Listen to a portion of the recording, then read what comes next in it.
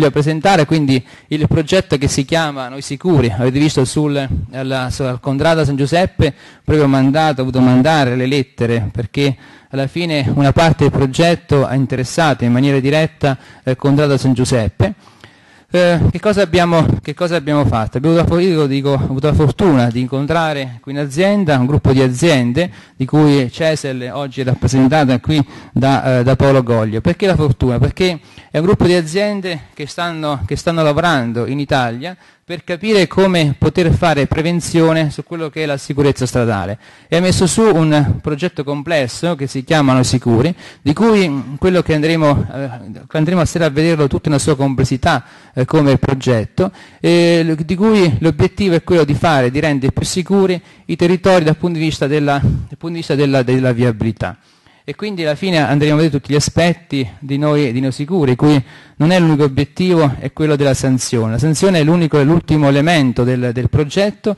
e il meno importante del progetto, del progetto, stesso. Quindi alla fine l'obiettivo è di fare vera prevenzione. A volte io capisco che quando si dice, si dice fare, mettere su un sistema che alla fine c'entra qualcosa anche il Velomatic o il famoso Autovelox, allora il, il sindaco, la commissione comunale è meno credibile quando parla di, eh, di prevenzione, perché subito viene in mente la, la, sanzione, viene in mente la multa, quindi subito si dice, si addossa alla missione comunale eh, l'idea di voler far cassa, quindi di quadrare il bilancio attraverso l'utilizzo del Velomatic o l'utilizzo della, dell'Autovelox. In realtà noi abbiamo cercato, abbiamo ricercato qualcosa di diverso e alla fine che facesse più prevenzione che sanzione. Non abbiamo nessun obiettivo eh, come missione comunale, quello di fare, di fare cassa attraverso, attraverso, lo strumento del, della sanzione. È l'ultimo obiettivo che ci diamo, è il meno, è il meno importante e noi diciamo anche tutto quello che, che sarà l'entrata comunale sulla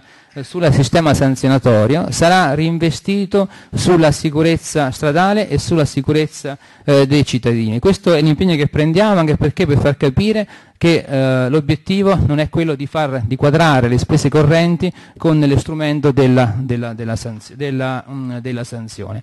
E quindi l'ultimo aspetto è quello della sanzione, quindi Paolo dirà nel su, nelle sue slide, anche nel filmato che ha preparato, che cosa consiste in Sicure. E oggi dico, voglio dire qualcosa in più. Noi, ne parlavo per la scuola, la scuola l'altro giorno, facendo un progetto di educazione civica con i bambini della scuola della seconda media. Oggi viviamo in un sistema di regole, di cui la democrazia, de- c'è democrazia quando alla fine ci diamo una serie di regole in cui le, dici, partecipiamo tutti alla scelta delle regole e alla fine tutti quanti, alla fine, siccome partecipiamo tutti alla scelta delle regole, alla fine ci diciamo anche che dobbiamo condividerle e più che altro dobbiamo rispettarle. Uno di questi è, è, la, è la, sicuramente è quello della, dell'utilizzo della, della, viabilità, quindi una delle regole che ci diamo è quella del rispetto del limite di velocità, che non nasce a caso il limite, oggi, lo, lo, oggi capisco che viene percepito il limite di velocità non viene più percepito, alla fine nessuno di noi guarda con attenzione il limite del 50-70, del, qual è il limite di velocità su quel tratto di strada, di strada che sta percorrendo, quindi perché magari siamo distratti dentro la macchina, perché non diamo importanza a quello che potrebbe succedere su quel tratto di strada in cui andiamo a non rispettare una regola, una regola che ci siamo dati. Io, quindi io ti do la parola a te Paolo perché non voglio non voglio toglierti di spazio, quindi ci torno dopo, dopo la tua presentazione del progetto Noi Sicuri. A te Paolo. Ecco che è nata l'idea praticamente eh, di eh, sostituire il vigile con uno strumento che fosse un vigile costantemente presente sulla strada. E qui vedete proprio rappresentati questi, questi spiccè, questi strumenti che avete visto installati anche sul vostro territorio, che di fatto simulano la presenza costante sul territorio di, di un vigile. Quello che avviene in questo caso, quindi all'utente che arriva a 80 all'ora, vede il primo vigile, rallenta, va piano, prima che possa ripartire a suo piacimento trova un secondo vigile, piuttosto che un terzo e, e, e, via, e via, dicendo. Questo fa sì che l'utente sia invogliato praticamente a tenere la velocità bassa lungo tutto il tratto della, della strada.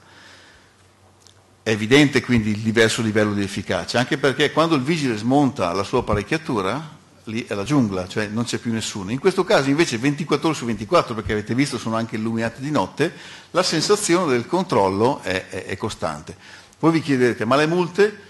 Le multe dipende da con che frequenza l'amministrazione decide di farle. Quindi il risultato però di questa prevenzione è completamente indipendente dal numero di multe, ne faccia una, ne faccia dieci, ne faccia mille, l'importante è che l'utente abbia la percezione di essere controllato, come peraltro deve essere, perché comunque sulla strada io mi devo comportare in modo corretto. Vi do anche i risultati a questo punto del monitoraggio fatto su, questa, su questo tipo di tecnologia. Quindi su mille veicoli in questo caso abbiamo fatto un esperimento più, più prolungato, sulla prima cabina diciamo, eh, monitorata il 3% del campione eh, infrangeva la, la, legge, quindi andava più forte del dovuto. Alla quarta o quinta cabina, quindi alla fine della serie, quando ormai l'utente aveva visto che c'era una serie e quindi aveva capito che non tirava buona aria, solo il 2% addirittura eh, andava a infrangere in pratica il limite stradale. Credo che in questo caso l'obiettivo sia raggiunto sia in termini di prevenzione, perché gli utenti sono andati piano, ma anche in termini di sanzione, perché se anche l'amministrazione avesse deciso di sanzionare tutti coloro che passavano in questo momento eh, eccedendo il limite, quante multe avrebbe fatto? Avrebbe fatto 20 multe su 1000 passaggi, quindi un numero molto, molto, molto basso, molto lontano dai numeri di cui si sente parlare eh, anche in questa provincia eh, recentemente. Questo secondo me incarna la logica di un controllo eh, moderato, saggio, eh, giusto da parte dell'ente senza la finalità diciamo, de- delle sanzioni. Per cui lascio la parola, poi la, la, la, riprenderò per vedere poi le soluzioni tecniche anche che abbiamo deciso di adottare con, con, con i comuni. Allora sì, buonasera a tutti, come ha detto Paolo, io mi chiamo Valentina e sono una dottoressa in scienze psicologiche. Immagino che ora la maggior parte di voi penserà, ecco, ci mancava anche la psicologa con la ramanzina eh, per concludere la serata, però vi assicuro che non è assolutamente quello che intendo fare.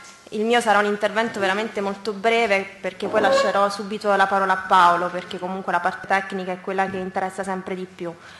Però quello che ci terrei molto a farvi capire in questa serata è quanto sia importante in realtà curare e promuovere proprio un'etica della sicurezza stradale, perché purtroppo la realtà di ogni giorno ci mette davanti a delle variabili incontrollabili, come sono appunto gli incidenti stradali, in cui purtroppo perdono la vita moltissimi utenti della strada o comunque si mette a repentaglio la vita di altre persone. Allora, Bella Chioma Domenico ci chiede, ma come si può affidare la sicurezza a una ditta privata che ha scopri di lucro? Sì. Allora, noi alla ditta, alla ditta, alla ditta allora, quando parliamo il comune non ha esternalizzato, non ha esternalizzato il problema sicurezza al gruppo della, al gruppo della CESEL. Il, eh, il, comune ha preso, l'innovazione del comune ha preso una parte dello studio CESEL, quindi l'innovazione del CESEL, e l'ha applicata sul proprio territorio. Alla fine chi, tutto, tutta la sicurezza chi decide è sempre il comunale, è il nostro comune che ha deciso quali sono i punti di monitoraggio, i punti di rilevazione, quindi quali, in, quali, in, quali, punti del paese andremo a monitorare a tutorare. Il, il, contratto, appunto c'è un contratto di noleggio, quindi la ditta Cesel ci dà il noleggio del, del, del, del, totem e finisce con il noleggio del totem.